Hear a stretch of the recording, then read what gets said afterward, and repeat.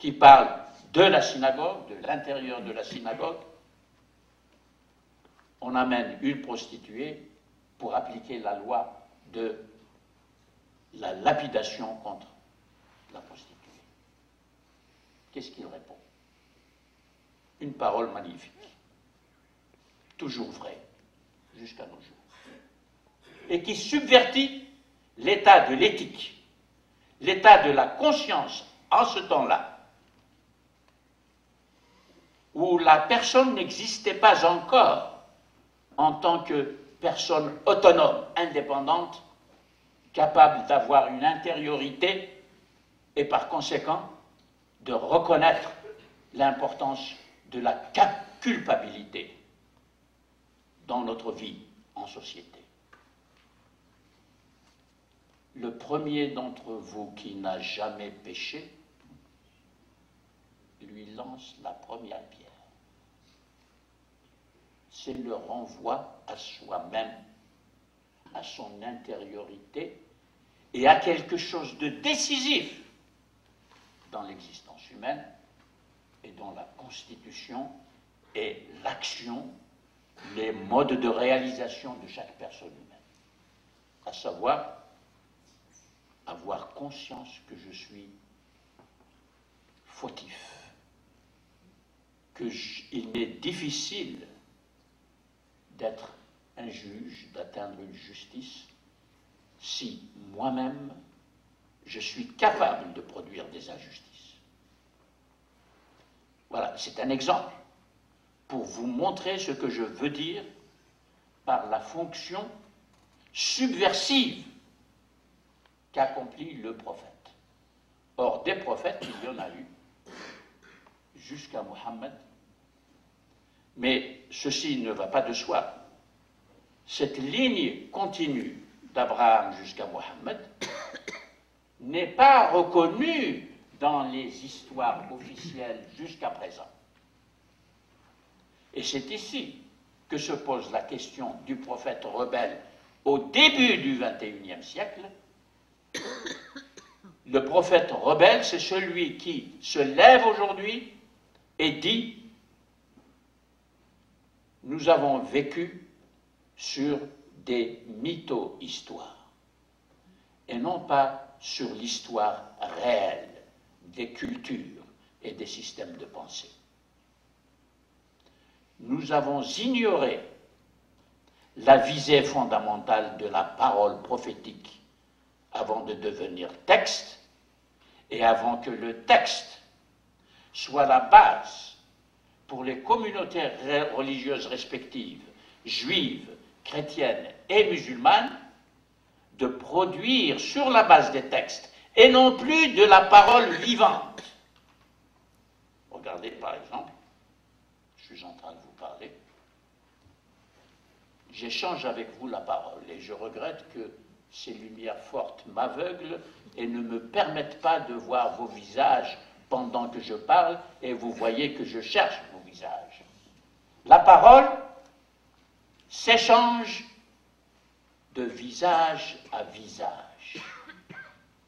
Car pendant que quelqu'un parle, il déclenche sur le visage le contentement, l'adhésion, l'enthousiasme et par conséquent l'engagement avec cette parole.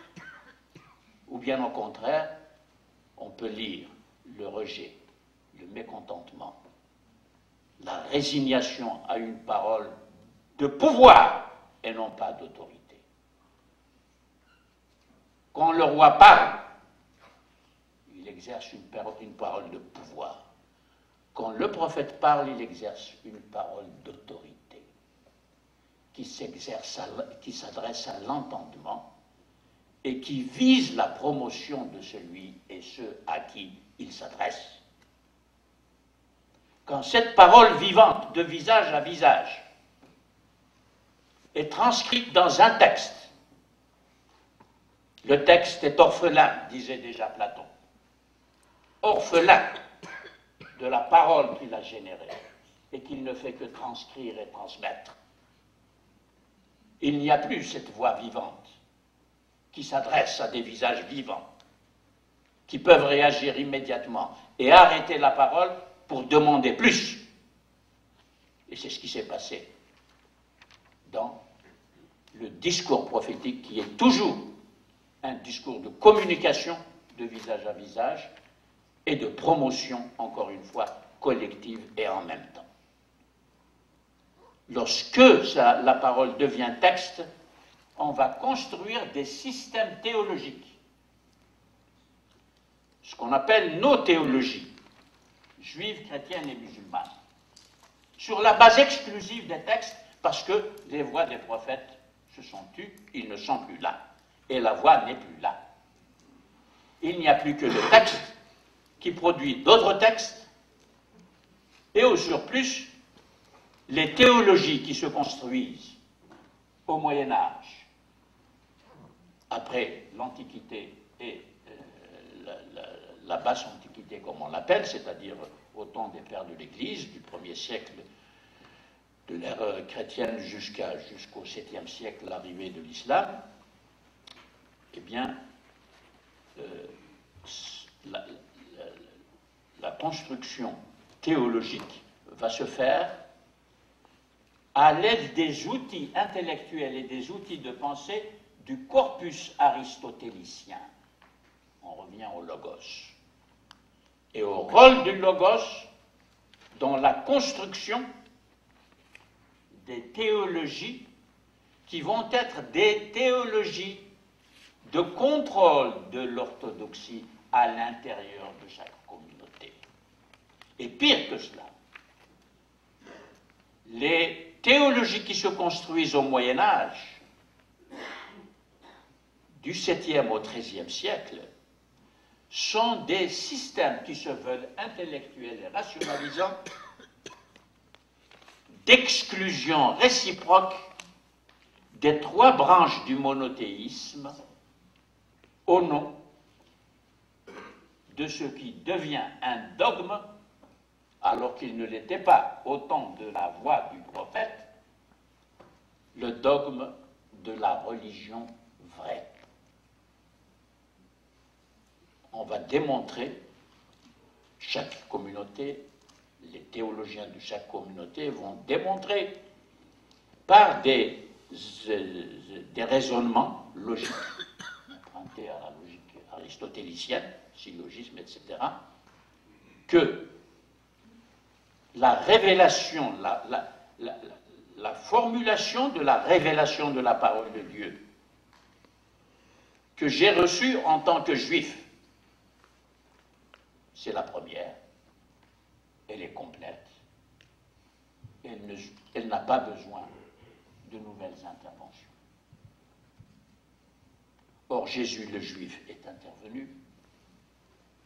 A-t-il apporté du nouveau par rapport à tout ce que nous connaissons dans la Bible hébraïque Ou n'a-t-il pas apporté de nouveau? C'est l'immense question qui va, euh, diviser le judaïsme du christianisme. Or, Saint Paul dit, Saint Paul, Paul, c'est un juif, un judéo-romain qui parle. C'est Saül, il s'appelait. Paul est son nom chrétien. À partir de maintenant, de maintenant disait-il, il n'y a plus ni juif ni gentil. Et le gentil, en hébreu, goïm, c'est le non-juif. C'est celui qui est extérieur au parcours prophétique. C'est l'étranger, et tous les païens étaient des étrangers. Et voici quelqu'un qui dit, après que Jésus a parlé, à partir de maintenant, il n'y a plus de juifs privilégiés avec toute la tradition prophétique qui lui suffit, et de gentils. Cela veut dire que la porte est ouverte à tous les gentils, à tous les païens, c'est-à-dire au monde de ce temps-là. Bon, je n'ai pas le temps de discuter la question, mais je la laisse sous forme de question parce que les Juifs sont là et les Juifs continuent de dire nous, nous en restons là où nous sommes. Et effectivement, Jésus est, hors du judaïsme. C'est un autre parcours. Vous voyez comment se, se tisse l'histoire et l'histoire du prophétisme. On ne la raconte pas comme je vous la raconte en ce moment. Je souligne cette chose-là. La nouveauté de la présentation historique des événements qui ont fait que il y a d'une part une continuité de la parole prophétique et il y a d'autre part une rupture de cette parole prophétique pour donner naissance à des communautarismes, comme on les appelle aujourd'hui, c'est-à-dire à des communautés fermées sur elles-mêmes. Et avec Mohammed, que, je vous ai présenté dans la ligne prophétique, ce qui est absolument vrai, il y a aussi une nouvelle rupture l'islam introduit, une nouvelle rupture dont on n'est pas sorti du tout. Au contraire, c'est pour cela que je félicite notre ami ici d'avoir pensé à ce thème. Vous le voyez, vous voyez sa richesse. Ce thème du prophète révolté. Et vous me voyez moi-même, enthousiaste et emporté, quand je vous parle, emporté par une conviction que les voix que nous devons entendre aujourd'hui, où nous sommes plongés dans une violence extrême à l'échelle mondiale, et que j'appelle une, violence systémique. Je n'ai pas le temps, excusez-moi, de vous, de vous expliquer le problème que je, le, vocabulaire que j'emploie. Peut-être ils reviendront, euh, ils reviendront nous violence systémique à l'échelle mondiale, pour la première fois au début du XXe siècle. Alors que, et ça c'est un, second moment très important, par rapport à la fois à la fonction prophétique et à la fonction d'une autre voie de la raison humaine, d'une autre expérience de la raison humaine. Cette expérience de la raison humaine qui divise aujourd'hui le monde que nous appelons l'Occident et le reste du monde qui en reste encore à des croyances religieuses et à des cultures complètement archaïques et sans rapport et sans pouvoir de communication avec ce nouvel âge de la raison que nous appelons la modernité, que nous appelons l'âge des Lumières, la raison des Lumières. La raison des Lumières est une immense coupure, encore une coupure, mais cette fois-ci pas dans la ligne du prophétisme, mais dans un autre espace de la pensée des hommes. La coupure entre une raison qui affirme sa souveraineté totale et absolue en termes de production d'une nouvelle vérité qui n'est pas la vérité de la religion vraie, et qui sera la vérité, cette fois-ci, scientifique, expérimentale, pragmatique, etc. Et une raison qui va instituer une nouvelle légitimité politique fondée sur la souveraineté du peuple qui vote pour envoyer ses représentants au Parlement et confectionner une loi laïque qui n'a plus rien à voir avec la référence à l'instance religieuse de ce que les trois religions appellent la loi divine. Coupure entre la loi laïque produite par le peuple, les peuples, convertis euh, au système démocratique, laïque, et la loi divine qui vit encore dans l'Église avec l'État du Vatican. Les catholiques appliquent encore la loi, la loi divine pour les catholiques, pour les fidèles catholiques, mais les catholiques vivent dans la modernité et sont des citoyens modernes, laïcs, et voilà, il y a cette dualité qui marche. Mais le monde de l'islam n'a pas participé à la production de cette modernité. Il n'y a jamais participé. Et il justement, je vous disais tout à l'heure, après les indépendances, on espérait entrer dans ce grand mouvement de l'histoire pour contribuer par notre présence à le faire évoluer dans un monde ouvert aux autres cultures. Et c'est parce que l'islam n'a pas participé au grand débat de la modernité, aux grands problèmes que posent et qui ne sont pas encore résolus par cette coupure de la modernité par rapport à tout un passé religieux qui conserve une présence dans notre monde actuel. Et on parle même du retour du religieux dans notre monde actuel, mais ce retour du religieux, c'est un retour qui revient avec des montagnes accumulées d'ignorance institutionnalisée. Nous vivons sur ces ignorances institutionnalisées, les uns et les autres. Parce que je vous disais tout à l'heure, en matière de religion, les théologies fabriquées au Moyen Âge sont des théologies d'exclusion réciproque. L'islam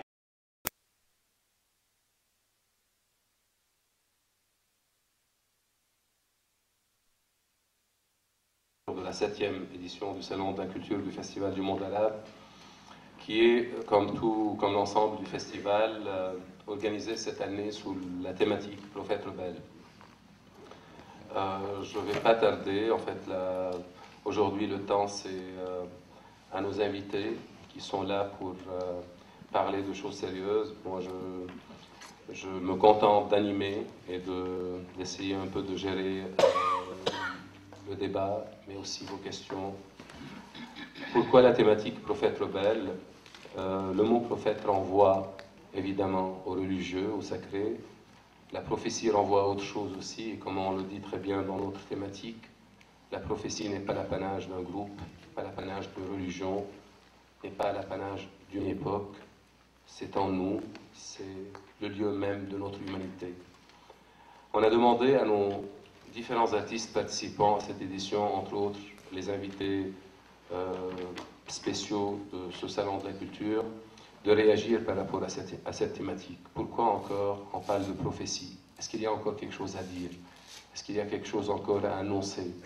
Est-ce qu'il y a des hommes qui sont encore capables d'annoncer des choses et de constituer la communauté? Parce qu'une communauté ne, ne se construit pas qu'autour du sens, d'un sens d'un sens commun.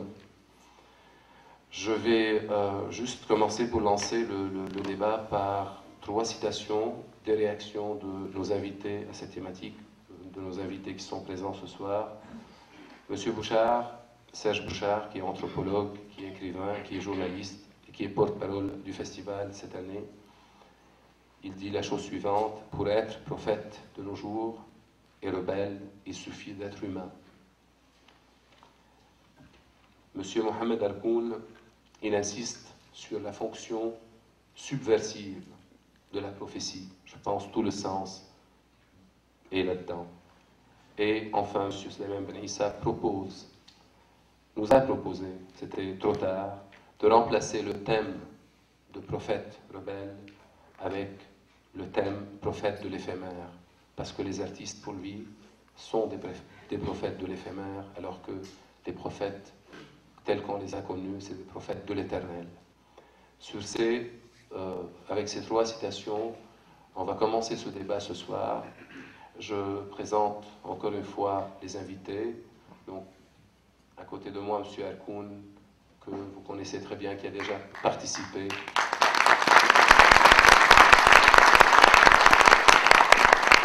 à la troisième édition du Festival du Monde Arabe et qui nous honore encore une fois avec sa participation qui a pris la peine, lui que, le voyage lui fait beaucoup, vraiment beaucoup de peine de venir.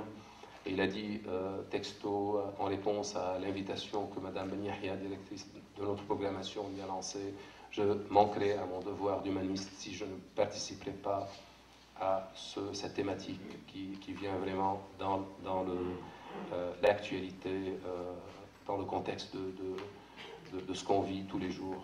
Donc, M. Erkoun est professeur émérite à la Sorbonne et euh, c'est un grand penseur qui a bouleversé euh, la pensée arabe moderne avec ses, ses propositions, ses méthodes et, ses écrits qui font déjà référence dans tout ce qui est études scientifiques de notre histoire politico-sociopolitique sociopolitique de la religion islamique et de l'histoire de l'islam.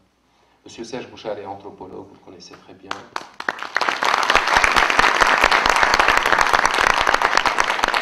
Et aussi journaliste, écrivain et avant tout un grand humaniste aussi. Donc, euh, Monsieur Slimane Benaissa est un dramaturge. Et écrivain qui a osé des choses que je pense euh, euh, beaucoup d'entre nous hésitent avant de, les entreprendre. Je rappelle ces deux œuvres qui ont, qui ont, fait beaucoup de succès, Prophète sans Dieu et Confession d'un musulman de mauvaise foi. Et euh, nous sommes heureux qu'il soit parmi nous ce soir. Je laisse la parole à notre cher invité, M. Alkoun, pour lancer le débat. Merci beaucoup, cher ami, mesdames et messieurs. Euh, évidemment, c'est avec euh, empressement que j'ai accepté de revenir à Montpellier. Montréal. Euh, à Montréal, à Montréal. Excusez-moi, Montpellier.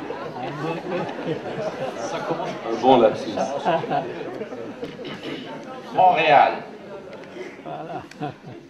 Montréal parce que j'adhère profondément au travail qu'accomplit le festival arabe ici au Québec, parce que nous avons besoin d'espace comme celui qui est donné au festival arabe ici, donné par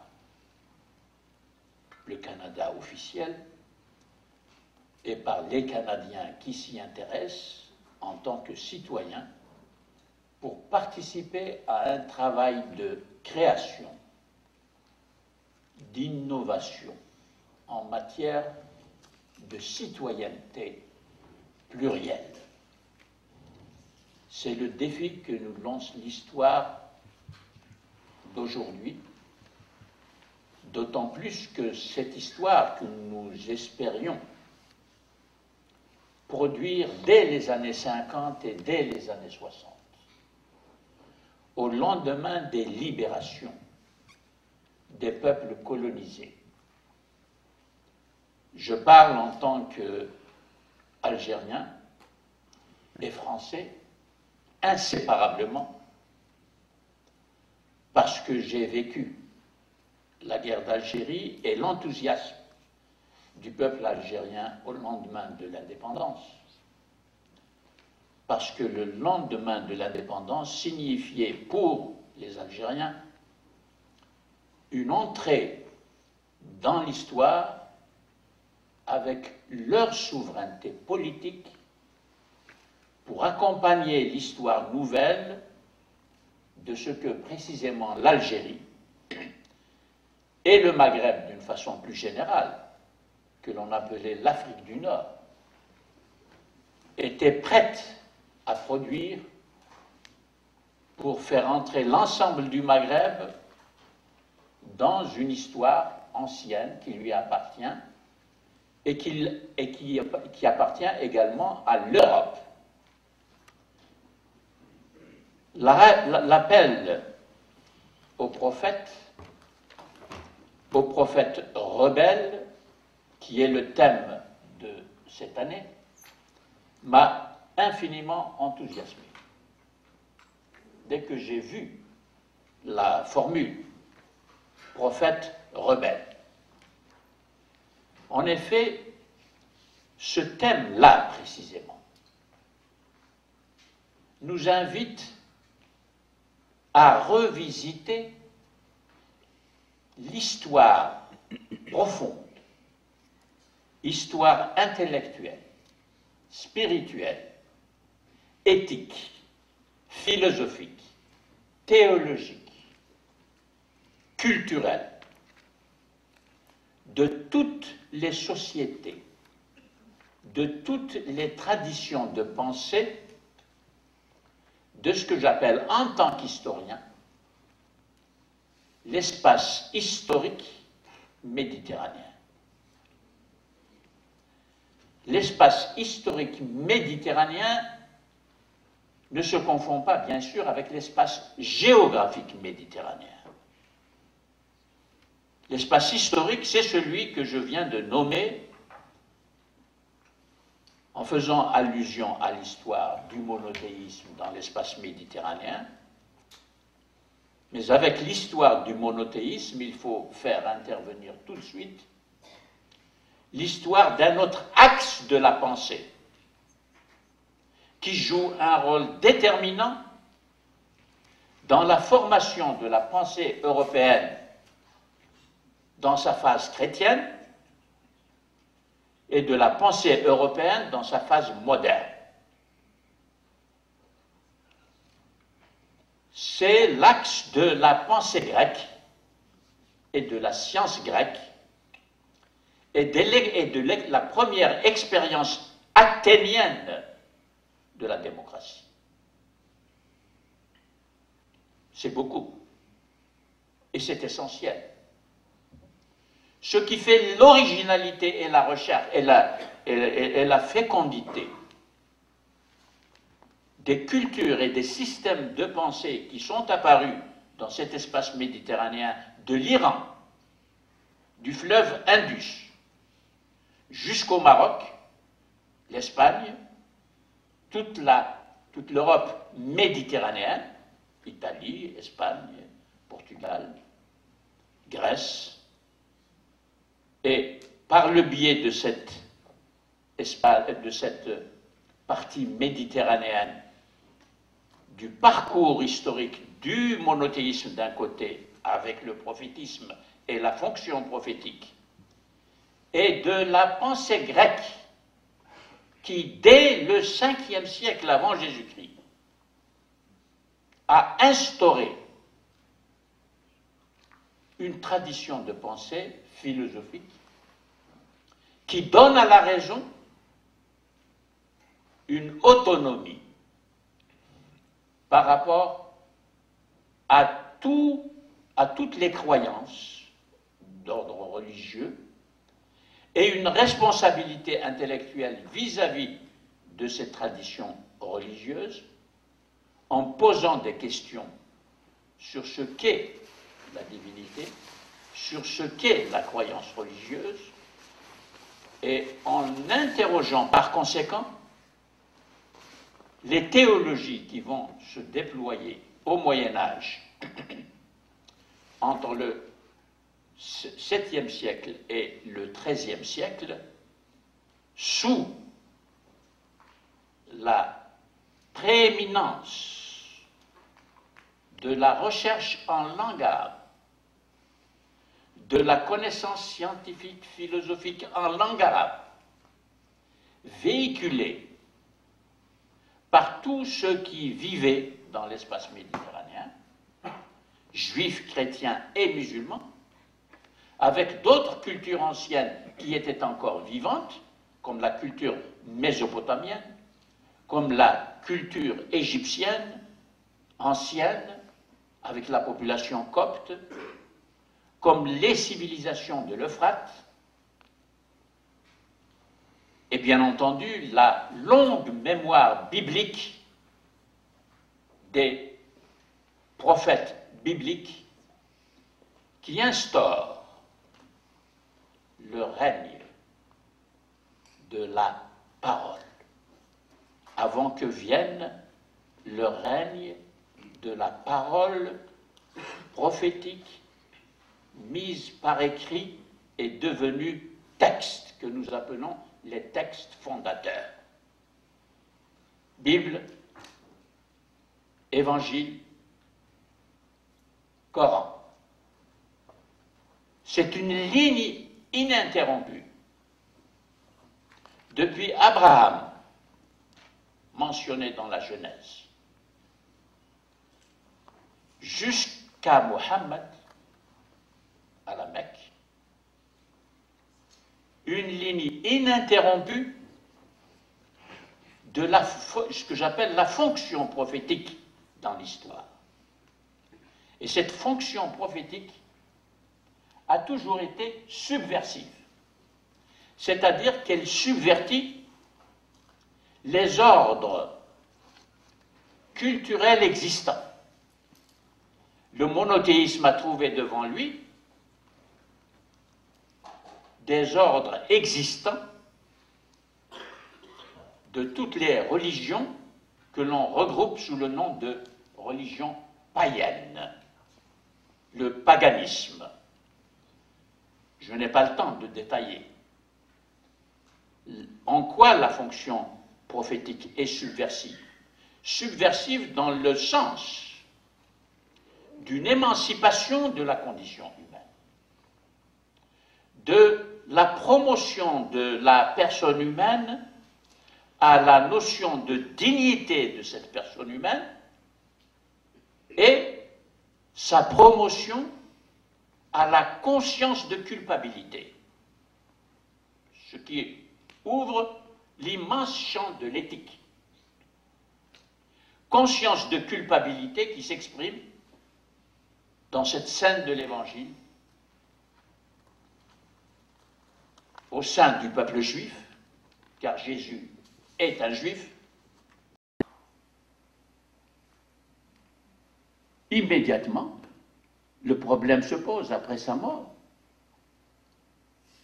Qui peut être légitime pour prendre la succession, non pas de la gestion politique de la nouvelle cité islamique, mais du charisme prophétique pour jouir de cette infaillibilité qu'on accorde au prophète? Car sans ce charisme politique, les gens de ce temps-là considéraient qu'il n'était pas possible de transmettre dans son authenticité vécue la richesse de la parole de Dieu inscrite dans le discours coranique. Voilà le débat. Débat inséparablement théologique, herméneutique, interprétation, et politique. Parce qu'il s'agit quand même de trouver le chef de la cité politique. Ce problème tel que je viens de le définir est toujours ouvert, il n'a jamais été résolu il n'a jamais été résolu. Les corpus de hadith des chiites du haut des imamiens sont différents des corpus des sunnites, Bukhari, Muslim, etc., Ibn Babouye, Al-Kulayni, etc. Et les recueils de hadith ont été faits, confectionnés tels que nous les avons aujourd'hui, à la fin du IXe siècle, du IXe siècle, trois siècles après la mort du prophète. Et ceux des chiites, dont on vient de parler, les imamiens, fin du IXe, début du Xe, très tardivement par conséquent. Et qu'est-ce que c'est que ces hadiths-là qui ont été reconnus? C'est le cheminement des mémoires collectives différentes, dispersées dans un empire musulman. Les mémoires recueillies à Oum, en Iran, sont différentes des mémoires recueillies à Bagdad ou à Basra, en Irak. Et le hadith exprime cette mémoire collective, collectée année par année et transmise durant trois siècles. Et à partir du, du, du, 9e, 10e siècle, les sunnites ne regardent jamais les recueils chiites.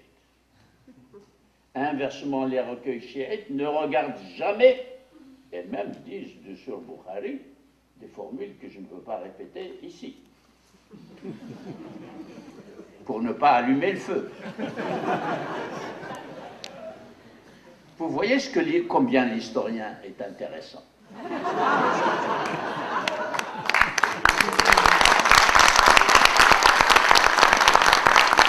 Et combien nous avons tous besoin des historiens. Car si au lieu de musulmans ici, nous avions un chrétien orthodoxe de Russie ou de, ou de Serbie, oh la Serbie, oh la Serbie, oui, avec les Bosniaques, un luthérien, un calviniste, plus les différentes ramifications du protestantisme au cours des siècles, parce que quand vous donnez le libre examen des Écritures, ben, vous avez automatiquement un bourgeonnement extraordinaire. Chacun peut lire les, évangiles et la Bible et puis euh, trouver des chemins divers. Ça, c'est la fécondité presque infinie, inépuisable du discours prophétique dont j'ai parlé. Euh, c'était quand? Il y a deux L'ouverture samedi. Quand j'ai parlé des prophètes rebelles et des prophètes subversifs et de la parole subversive du prophète dont, nous avons encore besoin aujourd'hui. Eh bien, si nous avions cette diversité pour le christianisme, il en serait exactement de même. Il y a aussi des mémoires collectives qui ont cheminé dans des langues différentes, dans des parcours historiques différents, avec des, des ethnies différentes. Et chacun poursuit son cheminement dans l'histoire et chacun se constitue des références sacrées et sacralisantes pour pouvoir développer cette expérience spirituelle dont, dont tous ont parlé. C'est ainsi que fonctionnent les religions. Et c'est ainsi que les sociétés humaines ont pu survivre avec une paix relative et avec aussi des inventivités, comme pour l'art, par exemple, dont le bahaïsme a retenu justement l'importance.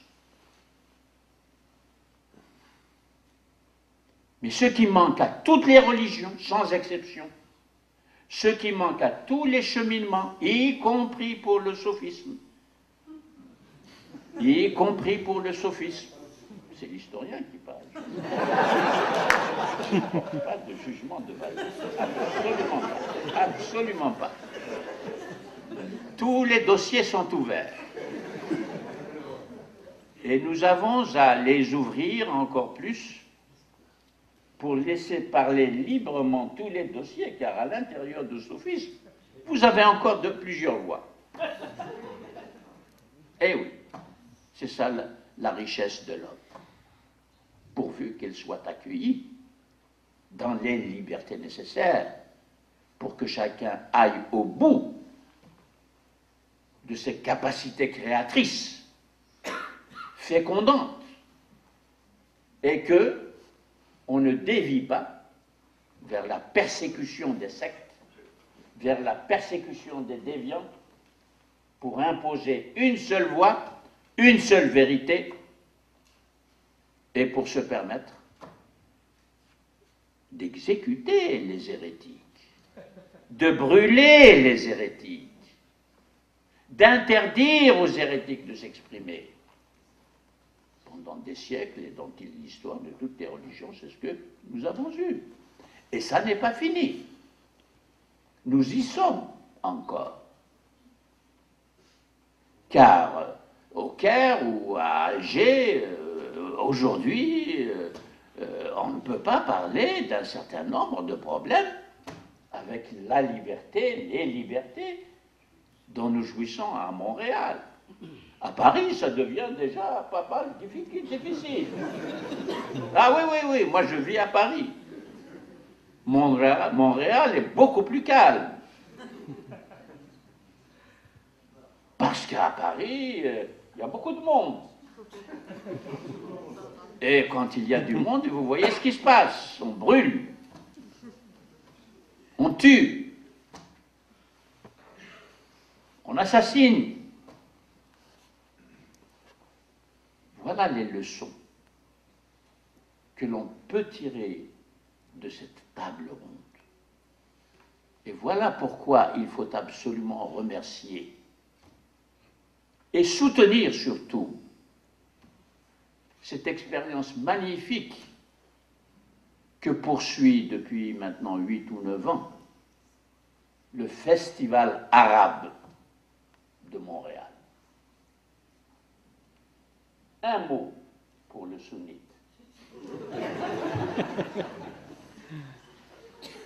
Il est scandalisé du titre donné à cette table ronde, qui est une première, encore une fois. Mille et un Allah. Je le comprends. D'après l'orthodoxie sunnite, et aussi chiite, sur ce point, ils sont d'accord. Il y a des points où ils sont, ils sont d'accord. Pardon? Non, non, mais si, si, c'est. Attendez, attendez, j'ai pas fini. Oui. Tout le Coran, tout le Coran vise justement à instaurer l'unicité d'Allah. Il n'y a pas mille Allah. Il n'y en a pas deux. Il y en a un. Point. Selon le discours coranique. Et selon le discours biblique. Et selon le discours évangélique. Mais avec les, les évangiles, il y a des choses qui interviennent. Je n'ai pas le temps d'entrer dedans ici. Quand Jésus demande à ses disciples, pour vous, que dites-vous que je suis? Interrogation formidable, à laquelle il est répondu d'une manière absolument formidable et magnifique que les psychanalystes aujourd'hui, en particulier Lacan, a consacré tout un séminaire à cette question adressée aux disciples. Pour vous, disciples, qui dites-vous que je suis? Nous sommes dans la synagogue. Nous sommes à l'intérieur d'une longue tradition juive de la parole prophétique. Et voici un juif qui s'inscrit dans cette tradition et qui est né dans cette tradition et qui parle de l'intérieur de cette tradition. Et il demande aux juifs comme lui, qui dites-vous que je suis Je m'arrête là parce que c'est trop compliqué pour aller plus loin. C'est dommage. Non, oh. Donc il y a plusieurs réponses. Non, non, non, non.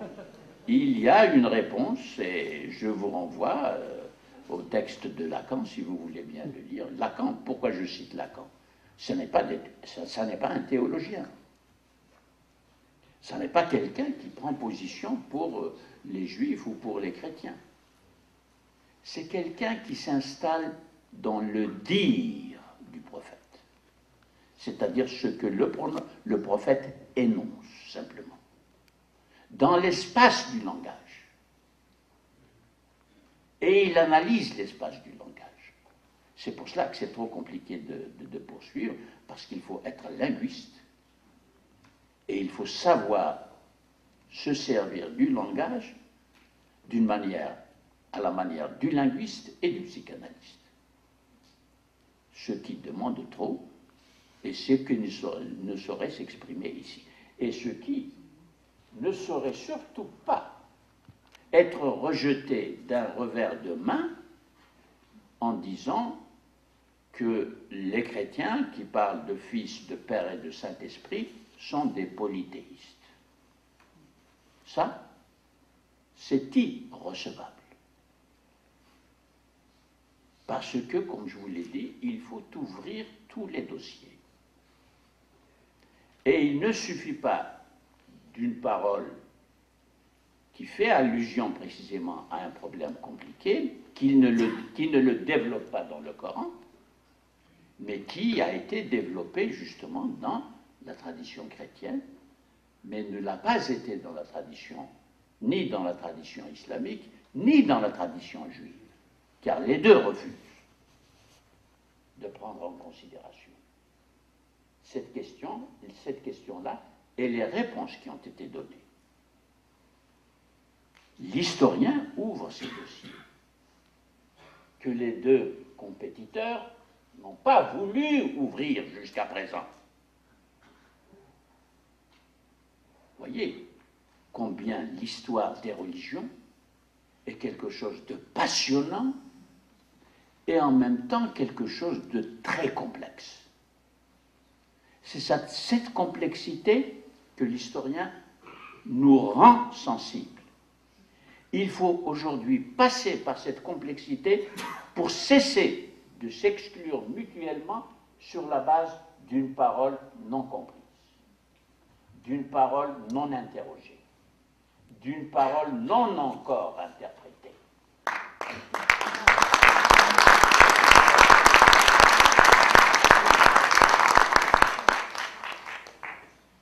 Et je dis que ce travail n'est pas encore fait dans les trois communautés. Les grandes communautés, ne parlons pas des branches comme ici. ici, on a les branches. Vous savez, si on, s'engage dans la, voie chérie, la voie baha'i, etc., euh, il va nous, nous falloir des équipes de travailleurs et de chercheurs et de professeurs pour expliquer au grand public ce que les chercheurs vont trouver. Comme Lacan, il a trouvé quelque chose, mais pour le, transmettre au grand public, vous voyez, c'est trop compliqué. Donc, je poursuis. Ce que vous avez dit est tout à fait juste du point de vue de la tradition sunnite et du point de vue de l'islam en général. Du point de vue de l'islam, ça c'est un point d'accord entre tous les musulmans. Il n'y a pas de doute. Mais le problème ici, c'est ce que dit la sociologie historique. C'est ce que dit la psychologie historique. C'est ce que dit l'anthropologie historique. La sociologie historique nous dit ceci.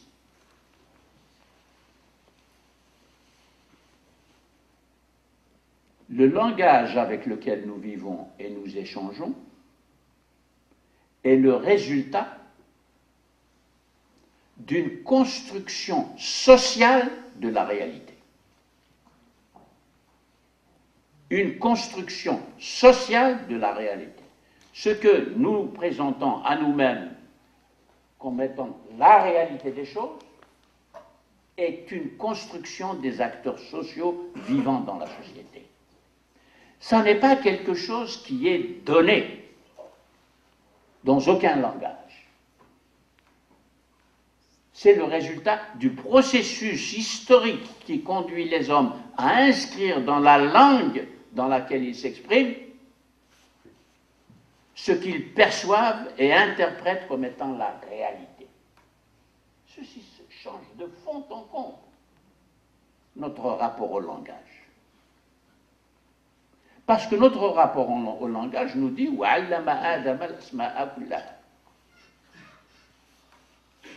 Dieu a enseigné à Adam tous les noms. Donc Dieu est le créateur du langage. Alors, ou bien on dit des sociologues, c'est des schnappants, ils ne connaissent rien, et puis on les oublie, on les met de côté. Et on continue de dire oui, d'accord, c'est Dieu qui a créé tous les mots de la langue arabe, ou tous les mots du français, tous les mots de l'anglais, tous les mots, etc. Ou bien nous acceptons qu'il y a de la recherche et que les hommes se donnent de la peine pour scruter les langues où s'inscrit leur histoire, où s'inscrivent leurs productions, à ce moment-là, il va falloir relire les textes religieux et, se demander comment le, le, discours coranique, le discours biblique, le discours de Confucius, le discours de Bouddha reflètent une construction sociale de la réalité. C'est une révolution, mesdames et messieurs. Et les recherches en sciences sociales font des révolutions, mais malheureusement, notre enseignement, même au Canada, où nous sommes, même dans les démocraties les plus évoluées, car ça, ce n'est pas une affaire de démocratie, c'est une affaire de transmission des savoirs acquis par la recherche. La recherche avance, mais les apports de cette recherche nouveaux ne sont pas transmis au public que vous êtes. Regardez ce que j'ai fait avec la réponse au fameux dites-vous que je exclue les deux autres en disant c'est la dernière fois que vous entendrez la parole de Dieu et le prophète Mohammed est le dernier des prophètes. Les juifs disent non, non, non, non, tout ça, comme je vous ai dit, ils en restent là où ils sont. Et le, christianisme dit, pardon, pardon, c'est nous qui, qui, avons donné à la religion vraie la vraie vocation universelle, et universelle et universalisante. Nous en sommes là. Lorsque l'Occident parle de ses valeurs et légitime les guerres actuelles au nom des valeurs de l'Occident, eh bien cet Occident-là n'a pas fait l'examen critique des responsabilités de la souveraineté de la raison moderne sans la religion, et il n'a pas revisité encore l'histoire des trois monothéismes à la lumière des outils nouveaux de la connaissance dont l'anthropologie est une des clés pour faire ce travail avec la linguistique, parce que pour parler des religions monothéistes en particulier, nous sommes condamnés tous à batailler avec ce que nous appelons, je dis, quand je dis avec ce que nous appelons, ça veut dire qu'il y a du travail là à faire et qui n'est pas encore fait les textes fondateurs. Il y a donc de la place pour des voix, peut-être pas de prophètes au sens biblique, mais pour des voix indépendantes et critiques, qui ont le courage de commencer par l'autocritique de la tradition dans laquelle ils sont nés. C'est là le sens de mon travail quand j'ai écrit Critique de la raison islamique et c'est cette critique de la raison islamique qui m'a amené à réclamer une critique de la raison juive et une critique de la raison catholique, une critique des raisons protestantes, etc., etc., c'est-à-dire d'ouvrir les immenses chantiers non encore ouverts, même dans cet Occident qui prétend avoir tout vu et disposer de tous les outils nécessaires, réviser radicalement les traditions de pensée sur lesquelles nous vivons tous, toutes les cultures du monde, toutes les cultures du monde, tous les systèmes de pensée dans le monde, parce que tous désormais sont sommés par l'histoire et la mondialisation actuelle de dire leur mot dans la production de cette mondialisation.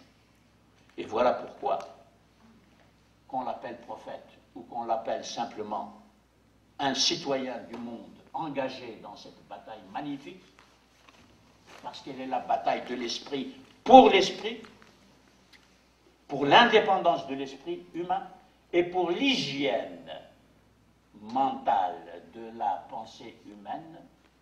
Qu'est-ce que ça veut dire l'hygiène mentale de la pensée humaine?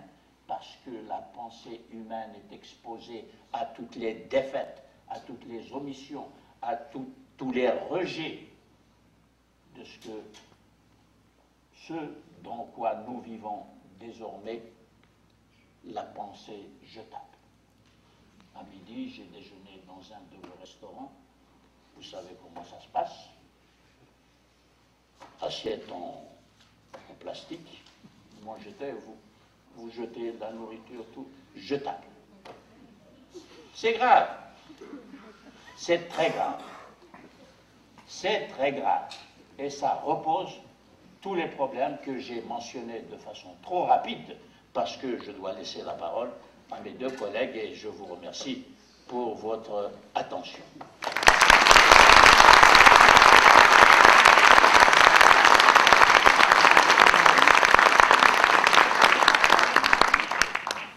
Je- Monsieur, c'est de compétence qui vous manque. J'en vois pas une. Oh, vous n'avez pas. Il y a des Les- commentaires, ils vont en avoir. Je vois pas une femme là. Vous avez Eh bien, mesdames et messieurs, j'espère que vous êtes euh, sensibles, comme je le suis, euh, au caractère exceptionnel de cette table ronde. Elle n'est pas courante, elle n'est pas com- commune. On ne fait pas venir des musulmans appartenant à diverses voies car c'est le mot voix qu'il faut ici employer, et non pas le mot secte. Parce que le mot secte a été chargé de négativité parce qu'il est utilisé par une communauté qui se présente comme orthodoxe, comme détentrice de la vraie religion, détentrice des véritables enseignements de l'islam, en excluant tous les, autres, toutes les autres voies qui se manifestent au cours de l'histoire. C'est le sens du hadith qui vient d'être cité. Et ce hadith, bien qu'il soit cité par Muslim, est, est contesté, son authenticité est contestée par les historiens. Alors évidemment, vous allez me dire, mais qu'est-ce qui donne à l'historien cette autorité qui lui permet de dire qu'il n'est pas authentique alors que beaucoup de musulmans le considèrent comme authentique Ceci est une question tout à fait valide, je la retiens. Mais pour euh, l'expliquer, pour justifier tout ce qui divise et tout ce qui oppose, le regard de l'historien sur l'histoire des religions et le regard du croyant, quelle que soit la voie à laquelle il appartient, qui parle des religions. Eh bien, euh, c'est tout le problème, justement, de notre temps. C'est-à-dire de ce temps où nous avons les références à la modernité, à ce que la modernité a apporté de différent par rapport à la manière de traiter le phénomène religieux et de comprendre les fonctions de la religion dans toutes les sociétés dans notre petite terre.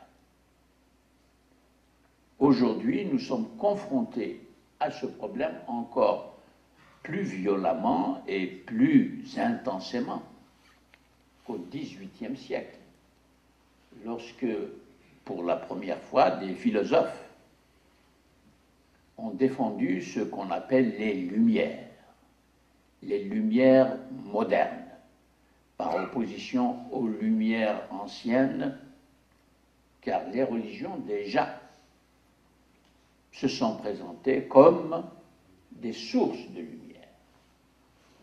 La métaphore de la lumière, pour éclairer l'esprit des hommes, est une métaphore extrêmement ancienne. Elle est utilisée par tous les sages anciens, Confucius, Bouddha, tous les grands fondateurs des voies de cheminement des hommes pour réaliser leur épanouissement en tant qu'êtres humains sur cette terre et pour aller cheminer, comme disent les sophies, vers le salut. Alors le salut, c'est beaucoup de choses. Ça dépend précisément de chacune des voies. Quoi qu'il en soit, je suis personnellement historien d'abord. C'est-à-dire que je me garderai bien de dire euh, quel est le meilleur ou qui a le plus raison. Ça n'est pas l'affaire de, l'historien. Je fais toujours cette comparaison quand on parle surtout des, des religions, que l'historien est un juge d'instruction. Il appartient au juge de la sentence de prononcer la sentence sur la base de toute la documentation réunie par le juge d'instruction pour reconstituer les faits dans toute leur précision, car c'est sur ces faits précis qu'établit le juge d'instruction par une recherche minutieuse, des interrogations minutieuses, écoutant toutes les parties au procès. C'est sur cette base-là, oui, car un procès, ça veut dire euh, l'écheminement, l'étude. Ce n'est pas un procès pour condamner, c'est pas ça. Le, mot procès en français, c'est le processus. Ce n'est pas le jugement, encore une fois. Vous voyez, attention, ne confrontez pas. Oui, oui, oui, doucement, doucement. Et vous voyez, comme euh, avec un mot, on peut glisser. On peut glisser. Mais l'historien, le bon historien, l'historien méticuleux, comme le juge d'instruction. Le juge d'instruction peut aussi glisser et faire des fautes. On l'a vu récemment en France euh, avec un procès tout à fait malheureux et retentissant. L'historien aussi peut se, peut se, tromper. Il est un homme aussi ou une femme et puis il a une subjectivité. Et puis il appartient justement à une sensibilité religieuse ou à une sensibilité politique ou à une sensibilité philosophique. C'est très difficile. Tout est difficile pour l'être humain.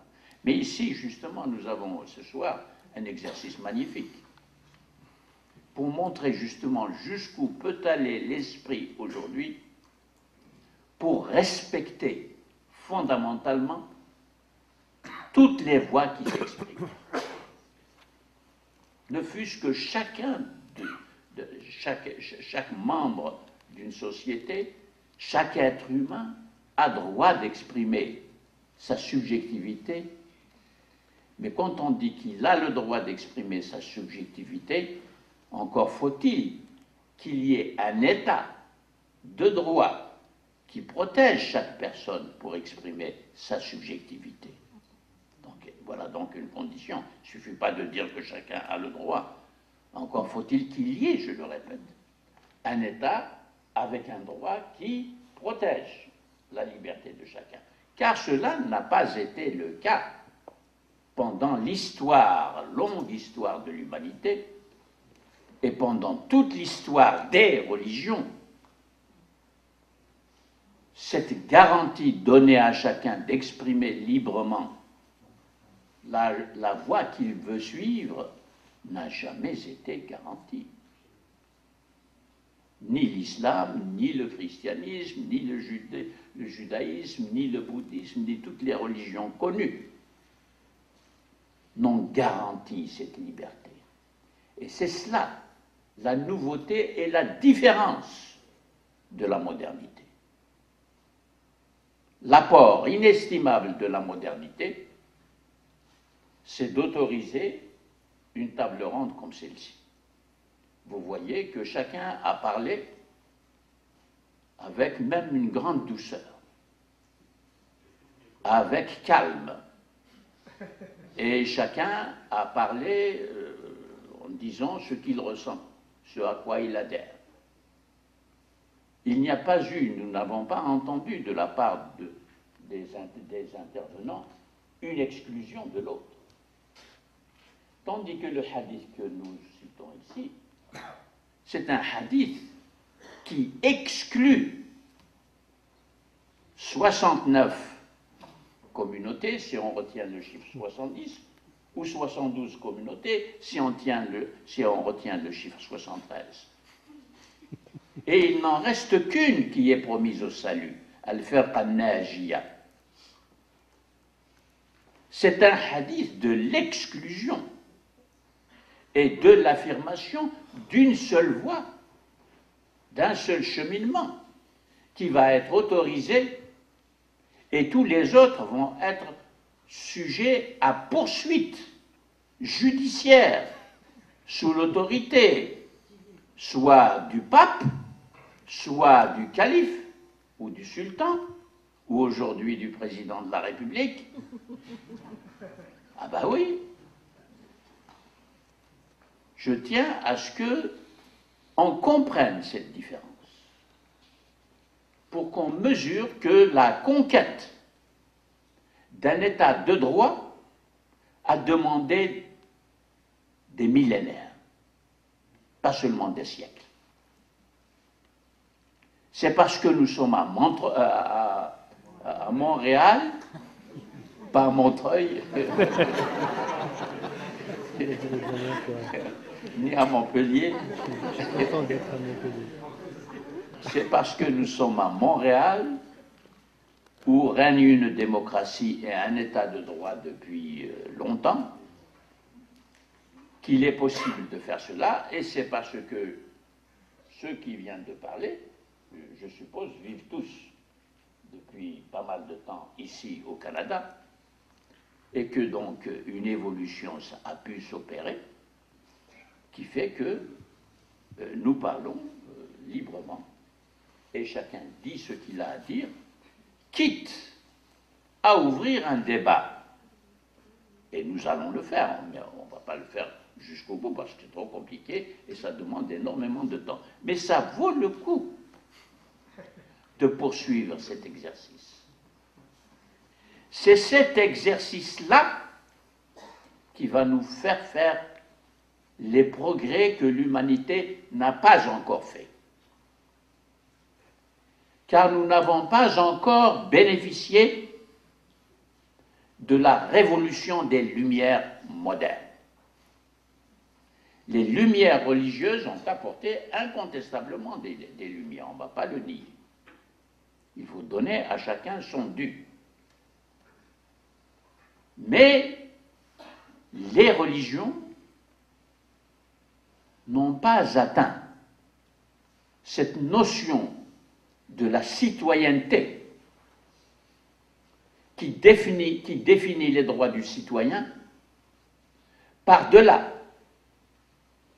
les choix religieux que l'on fait, par-delà la charia, par-delà le droit canon chez les chrétiens, par-delà la loi religieuse, la halacha chez les juifs, par-delà tous les droits particuliers à, chacune des,